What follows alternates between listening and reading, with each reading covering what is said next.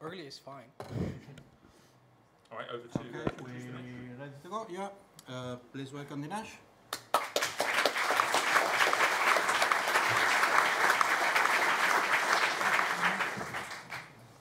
Hi. Do the guys, people at the back want to grab seats? No? Okay.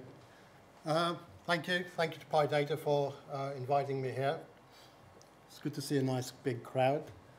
Um, and I'm going to talk about uh, popping your filter or pop your filter bubble.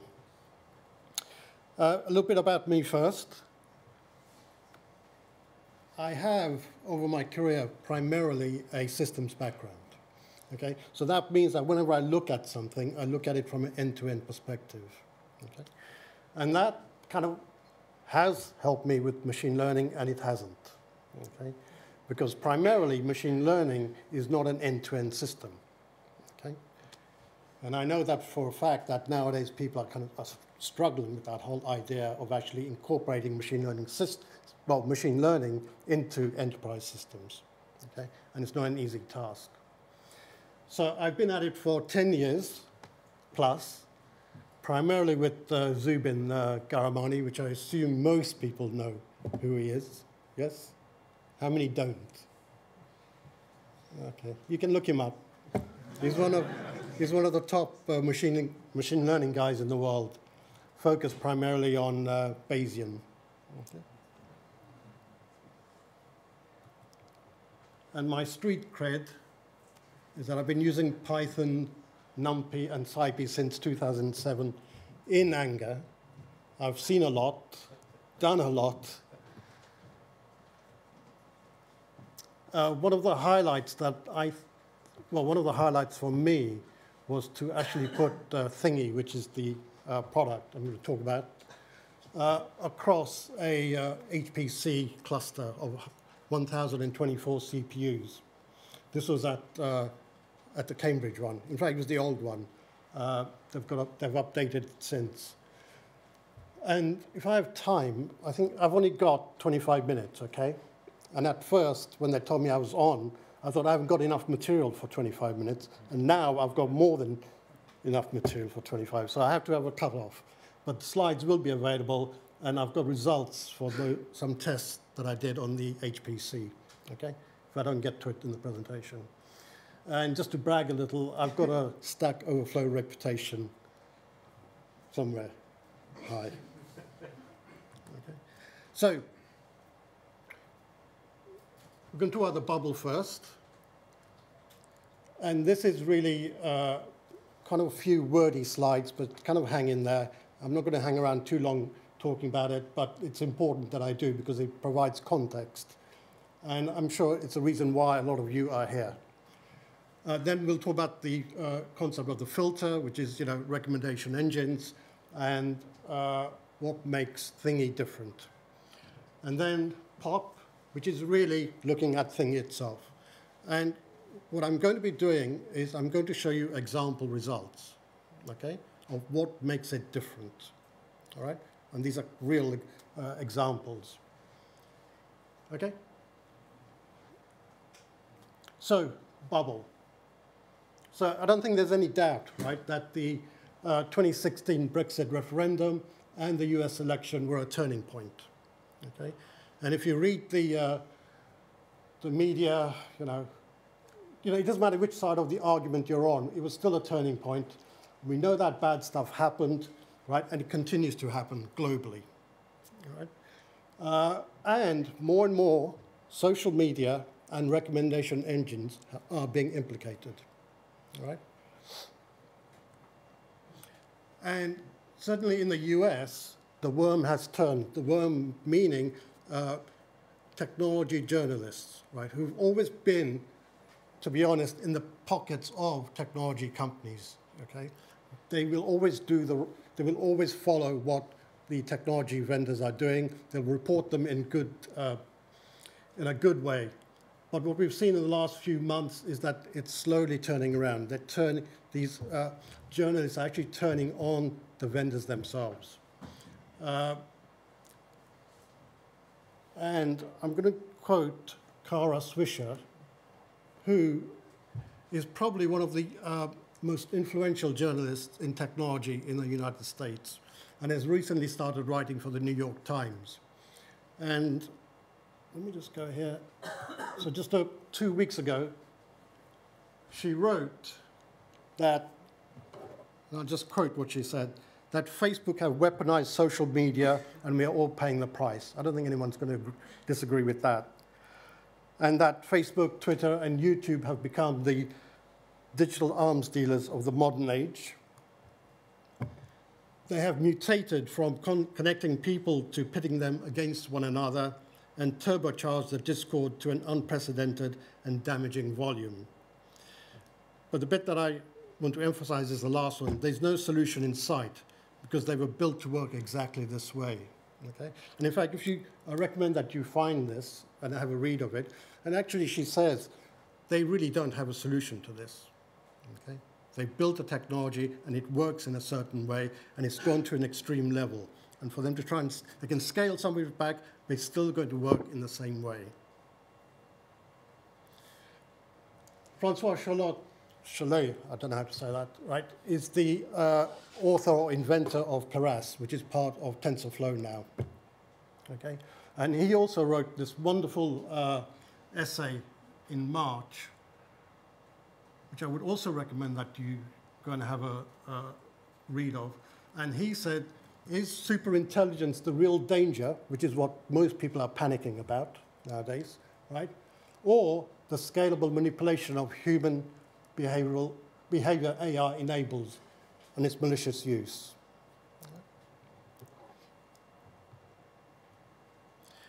And it's also entered into popular culture. Okay, how many people have seen Incredibles 2? no, I'm not giving any spoilers. How many?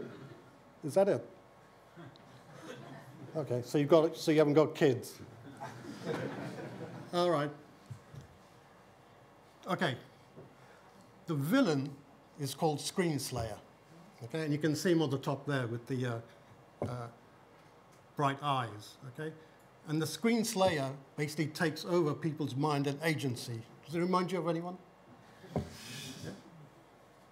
Now, the interesting thing is, right? Actually, uh, Incredibles 2 is the highest grossing, uh, highest grossing animation movie in the US so far, and probably will be worldwide. Okay? So that's another reason to go and see it. The interesting thing is, right, if you look at villains, right, in superhero movies or animation movies, right, you know, it's the mole or, you know, uh, what was the one in uh, Incredibles uh, 1? Uh, I forget his name. What was that? Syndrome? Syndrome, yeah, syndrome, you know, okay? And, you know, they, they were just kind of characters you knew were not real, yeah? But yet this is the first time you've got a villain that you know about, okay? Because you use it every day.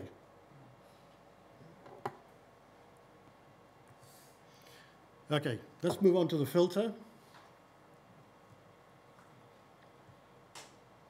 So recommendations engines have spread like a virus because of open source. Now, that might sound controversial, but it's not, okay? Uh, you know, I've been using open source software for a long time, open source libraries, right? And if I want to do something, I'd go and look on GitHub, try and find a library or uh, PyPy. And most likely, all I'll do, right, is just stick data into it. I won't mess around with the actual core algorithm, and off I go. And I think that's how most people use libraries, don't they? Right? You don't actually go digging around in the core algorithm to try and change it. You just want something that will work you look at the easiest way to do that. Okay? And, and it's because of that ease of use, right, that recommendation engines have just literally just spread. Right? Everyone uses them, and they all use the same one, and recommendation engines all behave the same. Okay? Where each customer or consumer is put into a single lane, okay, without any control. Okay? Really important. The consumer has no control. You look at whether it's a Facebook news feed or you know, other ones, even Netflix, right? It just gives it to you and you can't do anything about it, right? So it's a closed road, right? It's not like the open road where you're given control of the car.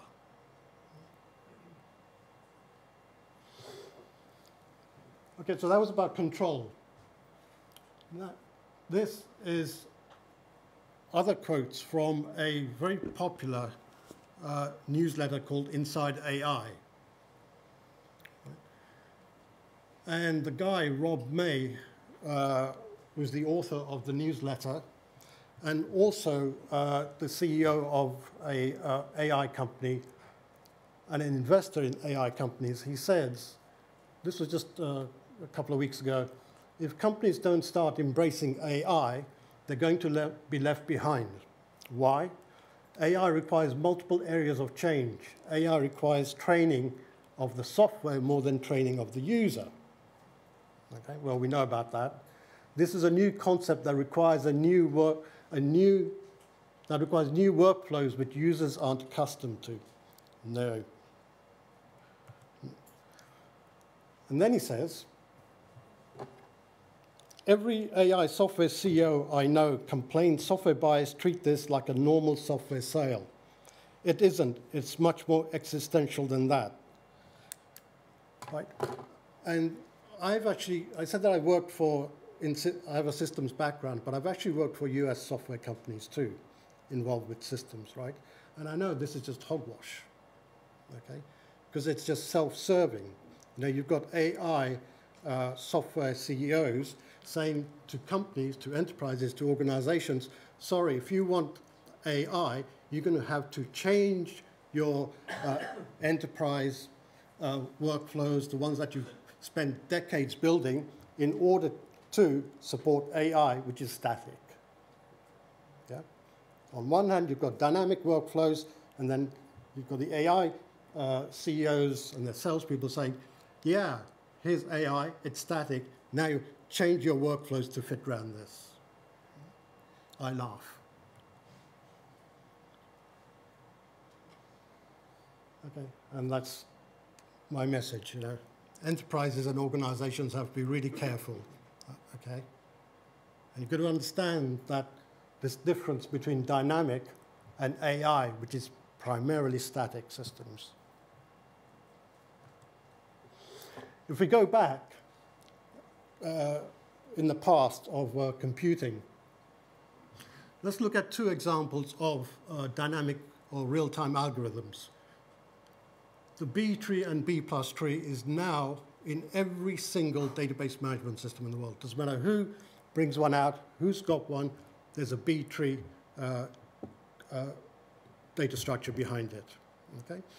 It was invented at Boeing in the 70s for document management, and you can understand why Boeing wanted to do that, right? You know, you've got this huge, massive plane, and you've got a ton of documents, all right? They needed a way to actually store all those documents, okay? And that's where the genesis of B-trees started.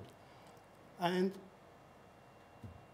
around the 80s and 90s, Oracle introduced real-time transactions. Okay? And if you think about real-time transactions, okay, without it, the internet today or e-commerce would just not work. Because, you know, someone buys something, okay, that has to be recorded and has to be shown to the buyer or whoever else that that transaction happened. And it's going to happen immediately, okay? We expect immediate response on the internet, right? And without this B tree, right, it would not have happened. And my point there is that people actually went out and tried to solve this problem. The other one is the inverted index, which was designed for information retrieval. And the early use was actually in mainframe databases, the most, fa most famous one being Adabas in the 70s. But it was not until uh, the search engines on the internet came along that the inverted index started being used uh, uh, more forcefully. And, and Google real-time indexing was actually in the early 2000s. And again, they modified or built stuff around the inverted index to support real-time indexing. Okay? And nowadays you go on Google and you expect it to have the latest information all the time. Learning algorithms invented by academics, researchers for experimental research in the, between the 50s and 90s. All right? And, you know, even deep learning, whatever, if you, you know, look at the work and, they will, and the uh, people behind it will admit to you that these are old algorithms. What changed was that uh, com- compute, cheap compute became available as well as massive amounts of data. But the actual algorithms themselves are not new. They've iterated upon them since, but not much. Okay? So they were not designed for real world use. They're not dynamic. They're not interactive, so you have no control over it. Okay? And they do not scale in production. Okay? They may scale offline when you're doing, you know, ETL, extract, extracting or transforming and loading, you know, whether using Hadoop or Spark or whatever, right? But they do not scale when they're in production.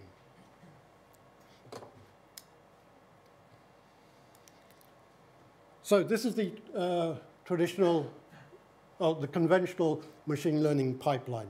Okay, at the far end you've got data. You do feature engineering, which you can do either manually or with deep learning.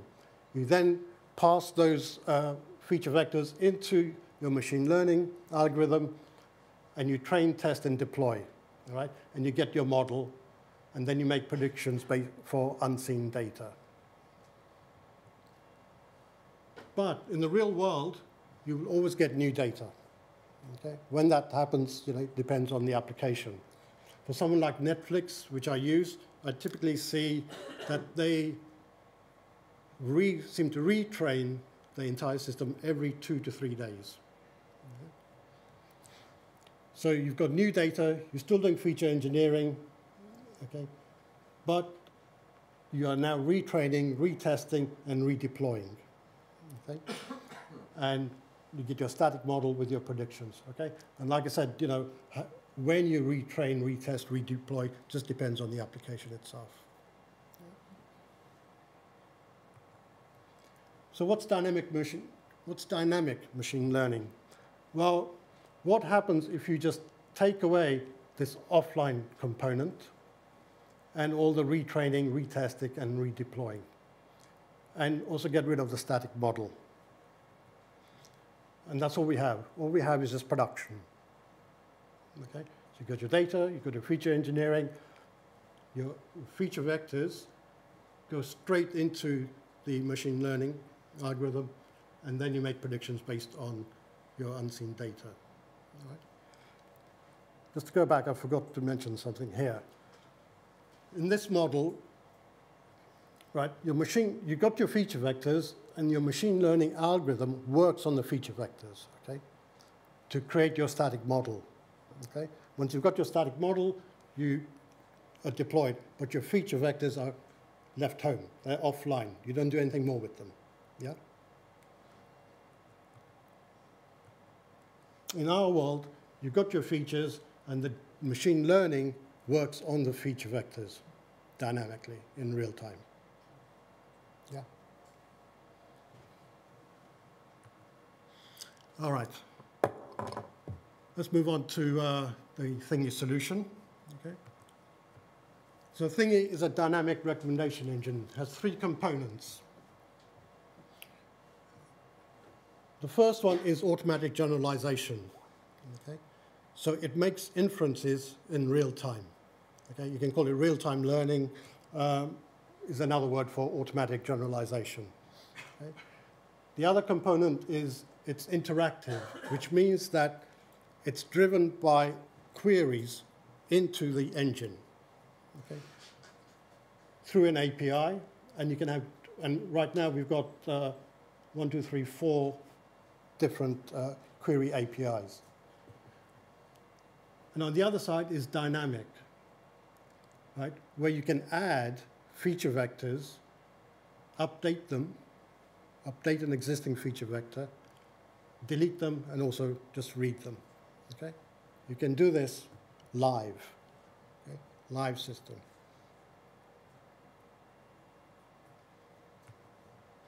So what's going on? Very simply, we have a universe of things, and those things could actually be any data type you want.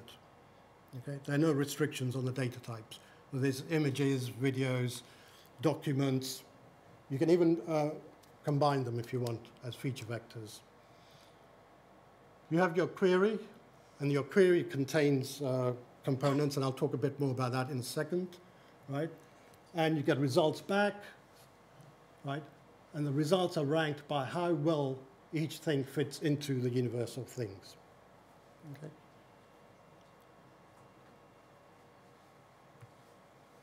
So let's look at one. Let's look at uh, query. All right, I know that I'm, uh, it's primarily about recommendation engines, but I've used images uh, because it's just visually better to. Really? Wow, I've only got five minutes left. Uh, what, is, what? You can eat into your questions if you want. Okay. Wow, that was quick. I just got started. Uh, all right, so I've used uh, a WikiArt um, data set. The feature vectors were uh, obtained through deep learning, okay? And what we have at the top is the query image and then the results, okay? Nothing special here. You can see this in other systems today, yes? Okay? So you can imagine this like being available in a museum where it's recommending uh, uh, paintings, yeah? Now I can add a second image or painting to the query, okay? And it will immediately go away and give me results that are similar to both of the query images. Yep. See that nod? I can add a third image to the query. Okay? And you can see how the results change. Yeah? And the results are also, remember, it's, it's almost like mashing all three of those uh, query images and then finding stuff that's similar to that. Yeah? I can add a fourth one. Okay. And I love how in the bottom row, the middle one, how that one turns out there. Yeah?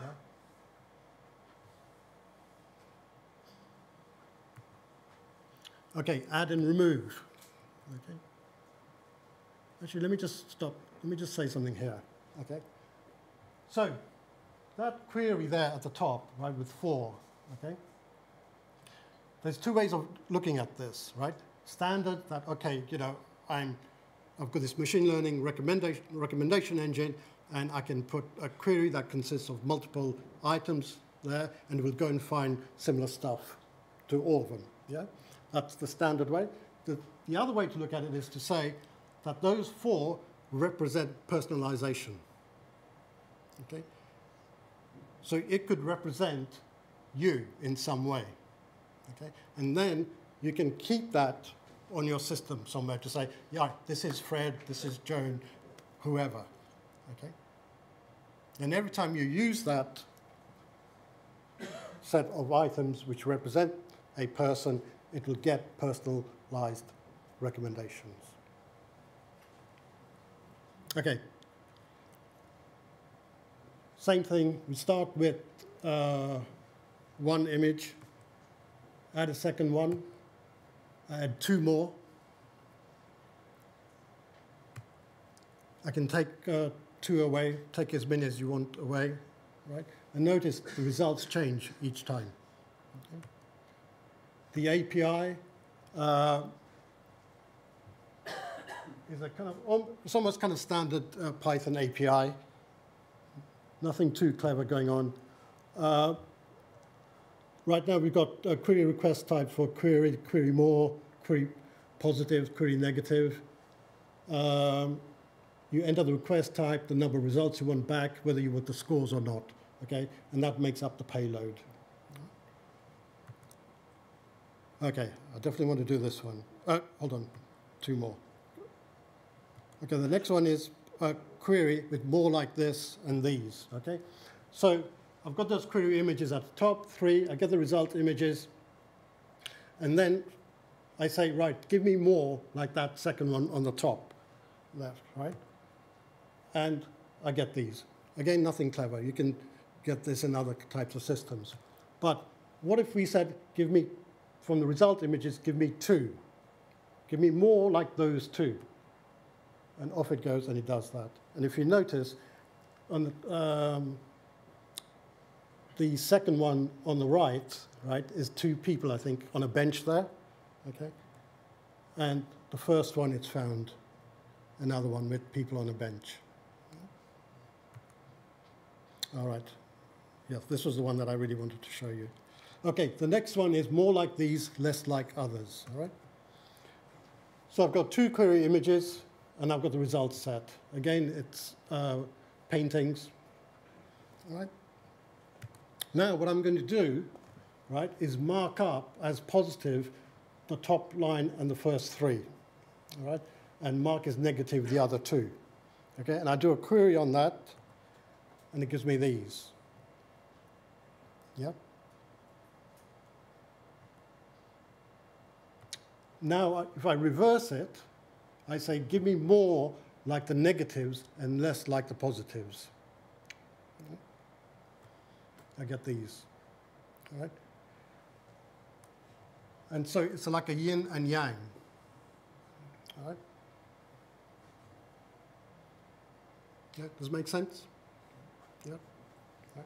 So in a way, it's kind of saying, you know, give me the positive stuff, but you know, there's a little bit of, you know, the dark stuff in there, or give me all the dark stuff, but leave a little light stuff in there. Okay. And again, it's all done through the API. Now, a big one is actually, uh, I said on the dynamic part, is actually adding data, right, or whether you're updating it. Okay. But I really don't think I'm going to. How much time I've got?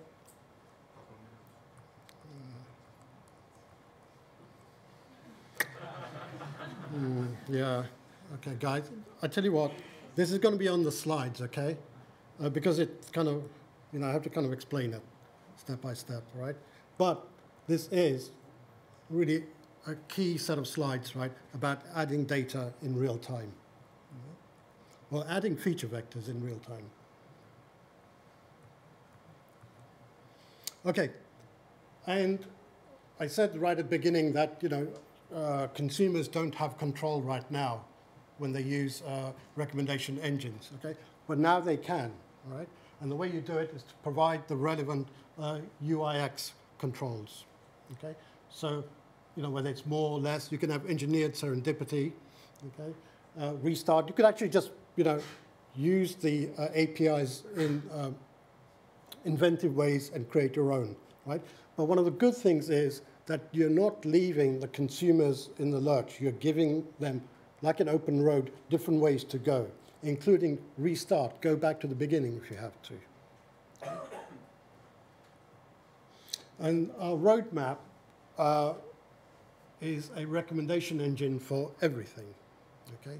Some people call this multimodal learning, i.e., you know, put uh, documents and uh, video and, you know, images and, you know, try and find the stuff. Um, so from the work that I've done uh, earlier this year, I know I've solved this problem, okay? And I just need to just test it out now. But I, you know, I know it will work. And it will work for literally anything, okay? You know, so you do a query and bang, if, you know, if you've got uh, mixed media, mixed uh, data types, it will find it. It will bring it back.